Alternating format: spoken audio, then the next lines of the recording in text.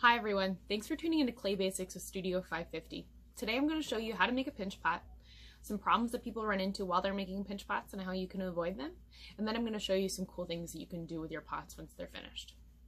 So we're going to start off by making a pinch pot. Right here I have a nice round ball of clay. It's about the size of a peach. If your ball of clay is not quite round, you can take both hands, cup them, and pat your ball of clay as you turn it, and that will give you nice even sides. The next thing you want to do is get rid of any of these lumps or creases. So you're going to take your thumb and move it across the top in a circular motion. It doesn't need to be perfect, but we want to get rid of big differences in the surface before you keep going. Your next step is to take your thumb and stick it down into the middle of your ball of clay. This is going to create the opening you're going to start from. You want to stick your thumb as far down as it can go without punching through because we want to make sure we don't leave a bunch of extra clay in the bottom. Here's a little cross section to show you what your proportion should look like. So now you're going to pinch between your thumb, your pointer finger, and your middle finger. Your thumb is going to go at the bottom and you're going to pinch as you turn. See how my hands are making a pattern on the outside? It's repetitive and it's consistent. That's going to give me nice even walls. Once I've made it all the way around, I move my fingers up and I continue pinching as I turn it and I'm still trying to keep that pattern going nice and evenly spaced. Now I'm going to move my fingers up a little bit more just into the rim and I'm going to continue pinching until I get all the way around. And then I want to check the rim. See those little cracks in the split at the top? I want to get rid of those by moving my thumb across the top in a circular motion.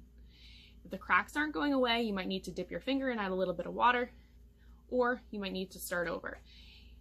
Once your rim is smoothed out, you can go back down and start pinching again from the bottom as you rotate your hands to get it a little bit thinner. On the second rotation, I try and pinch in between where my finger marks were before to get rid of any of the thicker spots. How thick or how thin you want your pinch pot to be is up to you. If you're going to use it for sculpting, you want to leave it a little bit on the thicker side. If it's just going to be a pinch pot for the sake of making something, then try and make it as thin as you can. It's a nice fun challenge and it's a really relaxing thing to do. If you are going for a really thin pot, sometimes you need to set it aside after the second rotation so that it's not too floppy as it gets thin. Give it 5 or 10 minutes to set up and then keep going. Alright, so now that you've seen how to make pinch pots, let me show you some of the problems that people commonly run into and how you can avoid them. Let's first look at a perfect pinch pot so we know what we're shooting for. This pinch pot has a nice round curve to it, nice even walls, a nice round rim.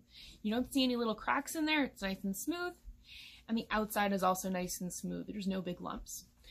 So this pinch pot was made with patience and care, nice even movements, and then plenty of time was taken to smooth out the rim afterwards. This first problem pinch pot really just isn't done yet. You can see that there's a thin spot right here, a thick spot up here. The rim is not quite round and there's lots of little cracks and bumps on the outside. If you've got something like this, all you need to do is spend a little bit more time on it. Pinch a little bit more in the thicker spots, avoid the thin spots, and make sure you take the time to smooth out the rim. If you want it to get thinner after that, set it aside if it's feeling kind of lumpy and squishy. All right, now this pinch pot is too wide on the top and a little bit too thick on the bottom.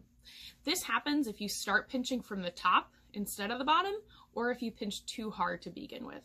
There's lots of little cracks in the rim that can still get smoothed out, but if you're going for that rounder shape, make sure you start pinching from the bottom and work your way up instead of working your way from the top down. All right, now let's look at a pinch pot that does not use materials efficiently. Can you see how thick the bottom is? That just means that when this was made, the hole was not deep enough. I showed you this cross section when we were first starting the pinch pots so you could see how deep you want to go. And you can see the difference when I hold them up next to each other. There's nothing super wrong about this pinch pot because the top is nice and even and there's no cracks in it, but it's not going to get as big as it could with this amount of clay. If you want to make tiny pinch pots, use less clay instead of leaving extra in the bottom. Now this pinch pot is fairly even in its walls, but you can see that the bottom is really flat. The problem with this is that it was made on the table like this, turning and pinching from the top instead of cupping it in your hands. That always makes the bottom really flat usually makes it a little bit thicker than it should be, and usually results in a pinch pot that has a shape like this for its profile instead of something nice and round like this. And now the last pinch pot I'm going to show you was just made a little bit too fast. You can see all those splits and cracks in the top. That means that it was pinched too hard on that first rotation. Remember, you can always go back and make it thinner, but if you make it too thin to start, it's going to cause a lot of weakness in the rim and it's going to be a lot harder to fix. So take your time, go slow, and enjoy the process. Take a deep breath with every pinch and make it a meditation. It's really enjoyable that way. Now that you know how to make pinch pots, let's talk about some of the different things you can use them for. Pinch pots can be turned into everyday objects like these by adding a handle afterwards and doing some of the final details. You could turn it into a bowl like this by adding a coil on the bottom so that it doesn't rock back and forth and it's nice and steady on the table. If you're going to turn a pinch pot into tableware, consider the shape of the rim and how thick it is. We like our tableware to be nice and thin and even, so spend a little bit more time on things that you think you might want to eat out of. If you're excited by the idea of sculpting, then pinch pots are a great jumping off point for you. You can turn a pinch pot on its side to make the belly of a bear or the mouth of a monster. An overturned pinch pot makes a great shell for a turtle. And if you're feeling really creative, you can turn the bottom part into a little box. Or you can just have an upright pinch pot and add a little sculpture to the outside. Whatever you're feeling, you can do with pinch pots. We hope this video inspires you to make some awesome clay projects at home. If you'd like to show us what you're working on, we're on Instagram at Studio550 or Facebook, and we'd love to see what you're doing. Have a great day. Thanks for watching. Bye.